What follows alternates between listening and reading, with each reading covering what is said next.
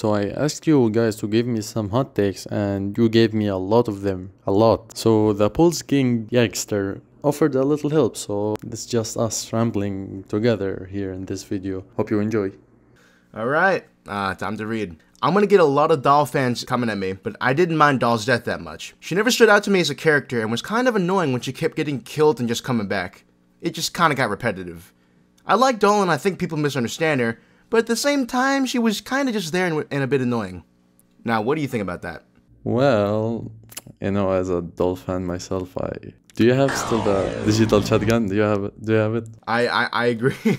Doll was robbed in the last two episodes. I, I her death is like basically universally hated on for just being bad. I wouldn't say she was annoying. Like I, I don't know if I agree with this take necessarily. Yeah, well, at first for me, like I thought it was cool because you know makes Cyn appear much more sinister. But then when I kind of looked back at her, back at that, and yeah, like what the f- was that? That was stupid. Yeah. The problem with her death is in that same episode, we have Tessa's death. So so her death just gets completely overshadowed. Yeah, it feels like Liam wanted to do something with her, but like I don't know, he decided to just change the plans. I don't know. Yeah, there there definitely was something else planned for her. I feel. Oh, oh no. god. All right. Oh god. Oh no. Okay. Oh no. Well, that's that that's funny.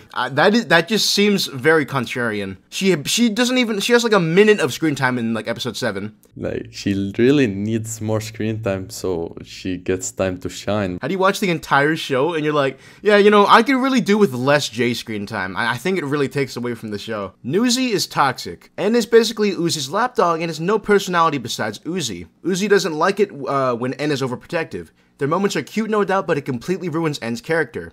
And he talks way too fast. What do I think about that? I, I, I do have to agree. Um, those two characters, like they are completely reliant on each other. Like they cannot stand on their own their own two feet. It feels like. So yeah, that's that's not healthy in my opinion whatsoever. Yeah, literally when they got separated in episode seven, like each character felt so dull for some reason because I don't know. Well, I mean, just- yeah, it, yeah, they're just bumbling around until they fucking reunite some point later in the episode. That's that's all they do really. The show kinda lacks in the comedy. Most jokes are funny, but some ruin the theme and come in the wrong time. Well, that's totally we totally agree with that. I think you do too. Especially episode five, like Oh man, you, you took the words out of my mouth, man. Okay, okay. Comedy is very subjective. What you think is funny, I may not think is funny. Like vice versa, right? But there is no doubt that Murder Drones being a horror comedy, it's a, it's such a double-edged sword, right? Because you have all these moments of suspense and horror that you want to actually make serious, but you can ruin all of that with a single joke. it tries to take itself seriously, but then just a joke. No, don't take me seriously. That's so stupid. The show is downright fucking horrible at storytelling.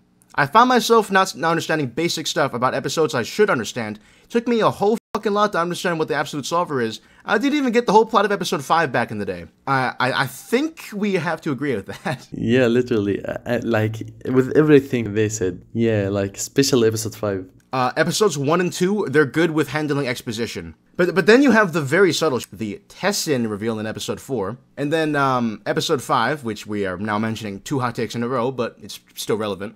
Absolutely uh, a dumpster fire. Yeah, the first episodes, uh, as you mentioned, they were kind of understandable for a specific reason because, you know, they were having fun with the characters. They were actually focusing on the events. They were focusing more on the events. Then the show just became a plot dump, literally. Episode 4, episode 5, mm, kind of episode 6 sometimes. For um, the cliffhangers. Not that they are done badly, but you can't leave us on an emotional cliffhanger for 8 months. Well...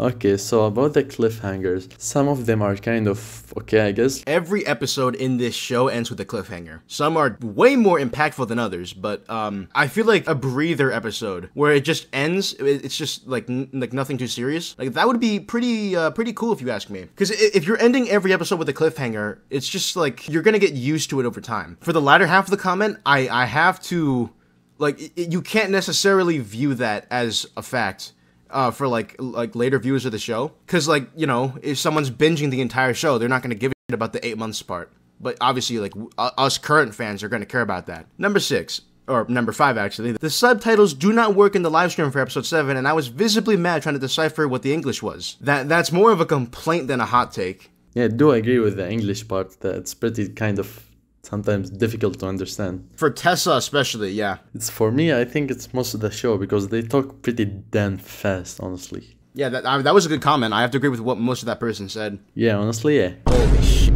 Okay.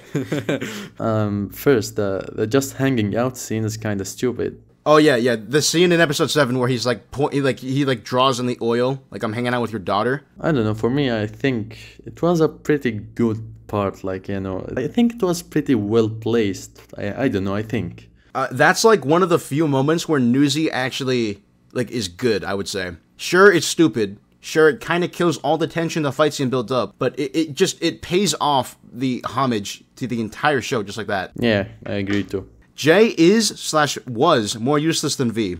She got killed off and did one useful thing afterwards. Either contribute or leave. Um, that is debatable. I personally would actually argue they're just on the same level because they both do jack shit for the entire show, but now they're kind of important in like the later half of this, right? But like at the same time, V was kind of like used as a plot device. Yeah, it's not a good use, but it kind of like moved the plot. Like episode three, is a use, I guess, yeah. It is a use, yeah. At least Jade didn't get any screen time at all. V did get some stuff. Like episode three, she was tricked by Doll, and they gotta go and save her. That's something, I guess. Like if V wasn't there, I don't think the whole episode three would even happen. I don't know. I, I feel like they're just the same level of useless, like I said. Not a hot take, but I wonder what the show would have been like uh, if it was more episodic. I don't think there's much I can say on that. Nah, me too, honestly. The show Yes. is episodic because if you're episodic, well, you're made up of loosely connected episodes or just separate ones. And the entire show is very loosely connected between episodes. You have time jumps and you have just complete skips, it feels like. As much as I love the characters, a lot of their personalities need to be majorly inferred. An example is that V apparently feels like a burden and hates asking for help, despite needing it and wanting it, as though no one need, uh, as though no one needs her. This is apparently what her song was about, but it's not really shown. Okay, that is also pretty debatable, because a lot of the characters' personalities are very linear. They're shown right in your face. But like V's like the one exception. It feels like. Pointing out what trope you are referencing isn't funny. It wasn't funny in Scream, and it isn't funny here. and it, it's it's just talking about the like the meta humor, like the comedy, you know. So like uh, like episode four, right? Cabin Fever. It's um Jason, you know. Episode six, Jurassic Park, and Yeah. yeah. um. I It, it, it's just saying how like um every episode has a trope, so it's not funny by referencing it out loud to the audience. Well, yeah, maybe, but like I think it it is debatable. It is debatable. Because once again, humor is very subjective. A lot of the important moments are in freeze frame moments, slash, the episodes don't feel like they're connected. I, I cannot agree more. Absolutely just true. Like I said for a previous hot take, the show is very loosely connected.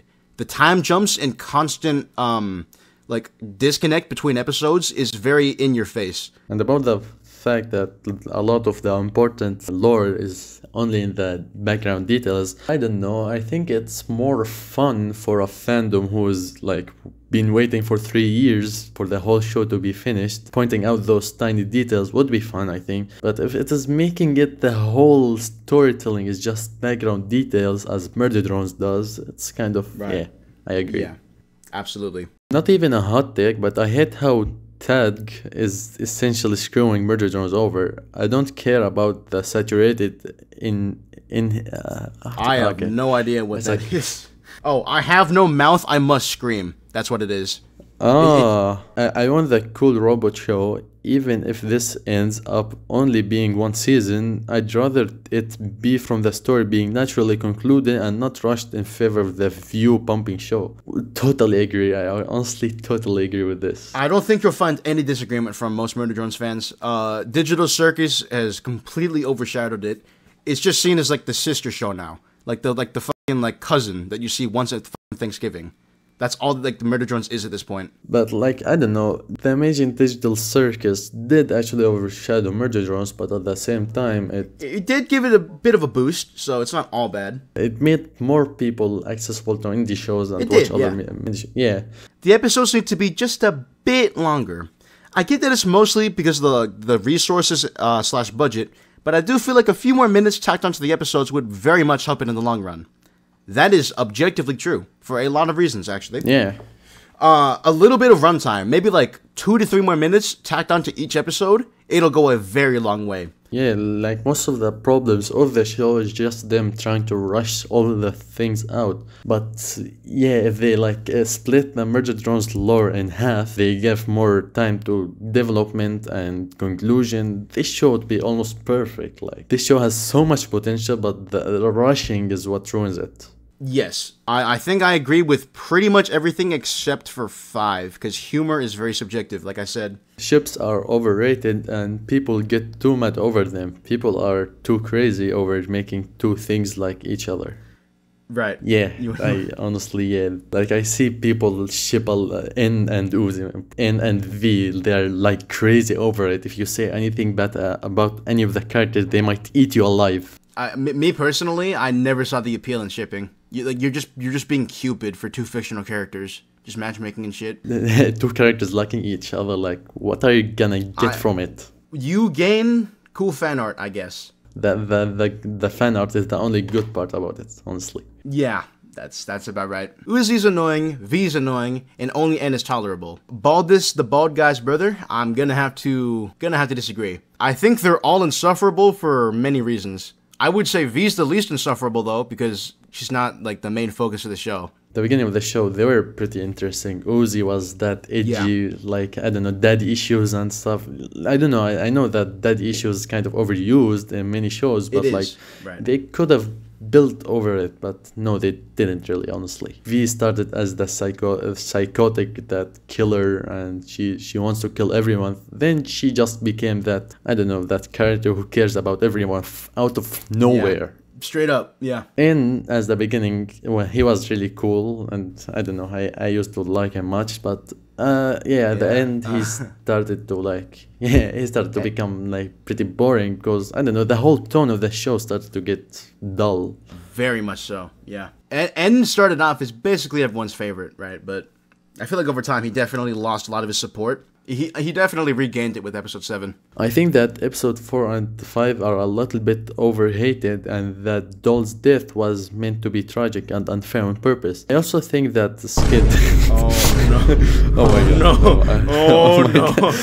decent twists positives outweigh the negatives okay I, uh, there, there are two parts about it three parts about this comment uh, four and five are a little bit overhated maybe and maybe not like some people say that they are absolutely unwatchable and no honestly they're kind of solid as a first watch but after rewatching yeah they kind of get insufferable honestly I have to agree. That's pretty true. There's not much else I can really say to that. yeah and about doll's death Okay. uh, it was meant to be tragic and. Oh, yeah, that's a big can of worms still. Yeah. It, it is tragic, but not for the reasons you think. It's tragic because of how they butchered her fucking character. Just like that. Like the scene was kind of cool, but that's it. A lot of people like Tessin. Uh, you think that the positives outweigh the negatives. That is not a hot take. That's actually just the general consensus for a lot of uh, different reasons. It's reminiscent of Liam's old works. It's one of the few genuinely horrifying moments in the show. Like I, I don't know, Tisen or I like to call it Shinesa. Don't like be mad about it. Or, or just call it skin. Call it condom.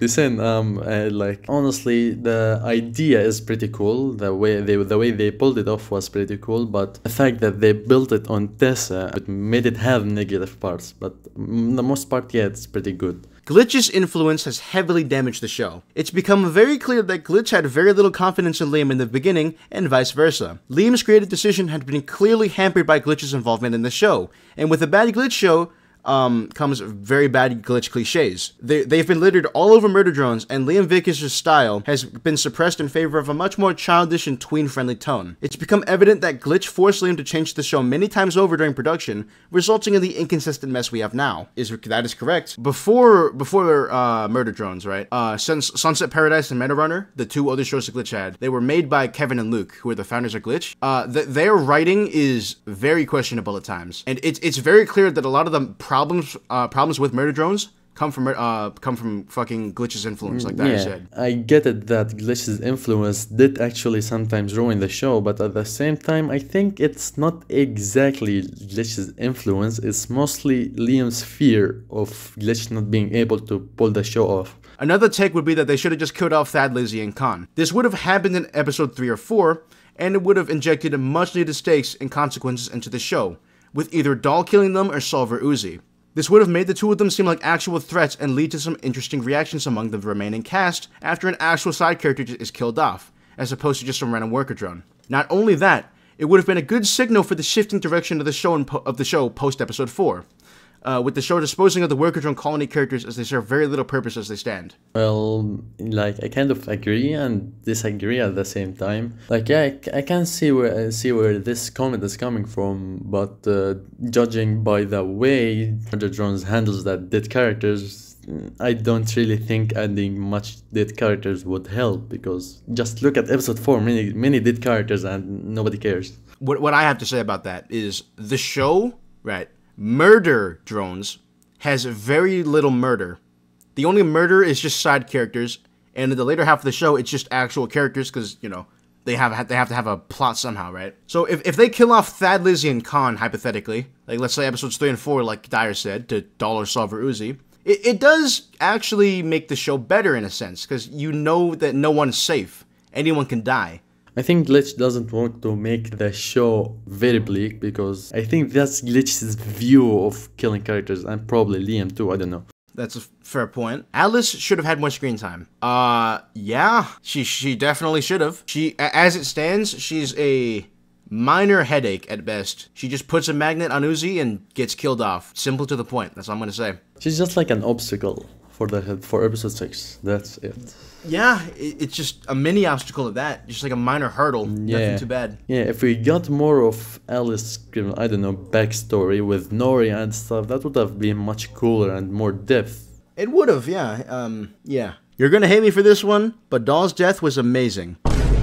I just want to talk to him. I just want to talk to him. I just want to talk to him. I think this because characters try as hard as they can to reach a goal, putting all their life and work into something they feel like they need to achieve, suffering horribly along the way, and no matter what, uh, and no matter what they do, failing in the end is just beautiful. She even had a chance to come back if she was lucky enough. Her core was still moving around just before Sinessa, uh, Skin, or Tessin ate her. Uh, her becoming part of the thing she sought to destroy is very poetic. I can't justify it further than that, so I'm just gonna shut the fuck up.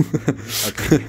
Um, well, about Doll's death, like maybe seeing characters trying and then failing is good, but the good part about that is seeing them come back again. That's the good part about it. But then just being killed off without even any backstory, any anything. They, she just became a villain episode three, and then she just died. That that's that's stupid. It, it's completely overshadowed by Tessa's death later Yeah. on. It, it's very bad that they, they just killed two characters off in one episode because you're gonna have one that's way more talked about than the other. And I'm gonna be real, like there, there's doll fans are few and plentiful, like they're like are few and far between rather, um, because like, there's not many of them. Yeah, unfortunately. Yeah, nobody appreciates that coolness. Uzi is a terrible protagonist who regresses as a character throughout the entire series. She goes from an edgy teen robot with her own motives to, uh, for her actions to an uwu uh, to an uwu girl slash uh, and love interest who only gets more interesting when she's possessed by a, a better character, Cyn. Not to mention, she makes more episodes uh, she's a part of actually worse. Episode five is a prime example. Well, about uh, the part that she is included in episode 5, yeah, I really agree. Because it made, made it much more confusing. I think everybody can universally agree that Crozy was not a, a thing that we needed. Um, an episode with N and uh, V actually just being themselves free from Uzi would be much more better for a lot of reasons. I, I, I would argue she does definitely regress a lot.